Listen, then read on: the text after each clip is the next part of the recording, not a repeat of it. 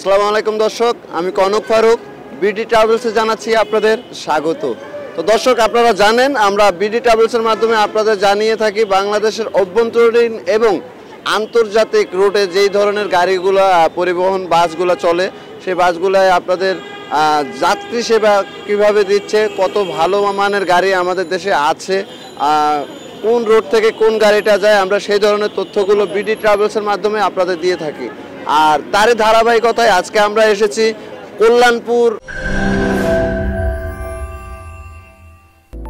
যে সার্ভিসটির সম্বন্ধে আপনাদের জানাতে চাচ্ছি, সেটা হচ্ছে উত্তরবঙ্গের উত্তরবঙ্গের একটি জনপ্রিয় পরিবহন, জনপ্রিয় সার্ভিস, সেটা হচ্ছে ন্যাশনাল ট্রাভেলস তো আমরা আসুন, আজকে ন্যাশনাল ট্রাভেলসের সম্বন্ধে কিছু জানি এবং আপনাদেরও জানাই।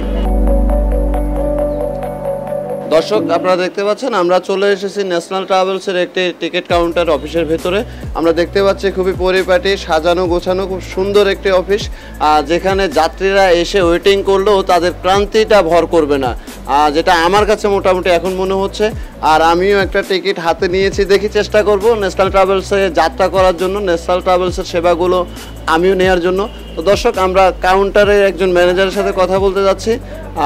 ওনার মাধ্যমে আমরা জেনে নেই ন্যাশনাল ট্রাভেলস আমাদের যাত্রীদের কি ধরনের সুযোগ সুবিধা এবং কেমন সেবা দিয়ে থাকছে। আমাদের শুধুমাত্র একটাই রুট চলে, ঢাকা, রাজশাহী, নাটোর, চাপাই। আবার চাপাই নাটোর, রাজশাহী, ঢাকা। এই একটা রুট চলে, আমাদের এখান থেকে কল্যাণপুর থেকে সরাসরি চলে যায় আর কিছু সংখ্যক আমাদের রুটেশন চেঞ্জ হইল মহাখালী থেকে কিছু গাড়ি যায় আমাদের।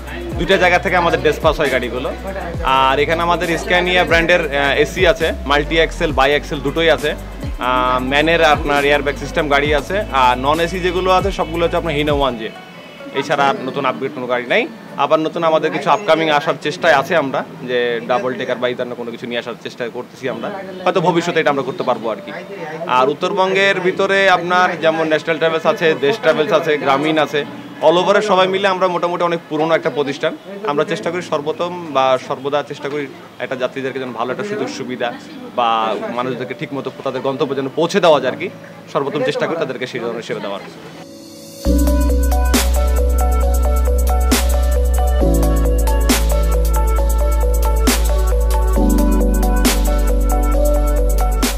দর্শক আপনারা দেখতে পাচ্ছেন আর এখানে অনেক যাত্রী গাড়ির জন্য বসে আছে গাড়ির জন্য ওয়েট করতেছে। তো তেমনই একজন যাত্রীর সাথে কথা বলতে যাচ্ছি। সালাম আলাইকুম। ওয়ালাইকুম আসসালাম। দাদা আপনি কোথায় যাবেন? নাটোরে যাব। তো আপনি এখানে তো অনেক গাড়ি আছে। আমরা দেখতে পাচ্ছি আপনি ন্যাশনাল ট্রাভেলসের টিকিট নিয়েছেন এবং আমার মনে হচ্ছে আপনি ন্যাশনাল ট্রাভেলসের একজন নিয়মিত যাত্রী। তো কেন ন্যাশনাল ট্রাভেলস আপনার এত ভালো লাগে? সার্ভিস ভালো গাড়ি ভালো যাত্রাও ভালো, তাদের সব কিছুই ভালো সার্ভিস বিশেষ করে সার্ভিস ভালো, এই জন্য আমরা যাচ্ছি।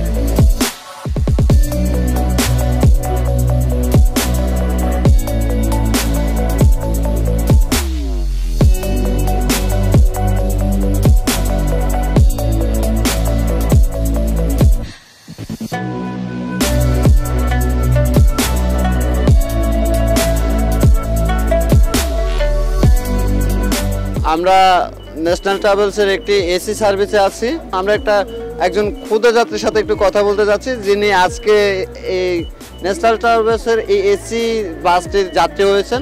তার সাথে আমরা একটু কথা বলি। বাবু কেমন আছো তুমি? বাবু কোথায় যাচ্ছ তুমি?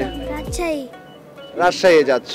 দর্শক আপনারা দেখতে পাচ্ছেন আমরা একটি ছোট গাড়ির ভিতরে আছি। এটাও ন্যাশনাল ট্রাভেলসের একটি যাত্রী পরিবহন।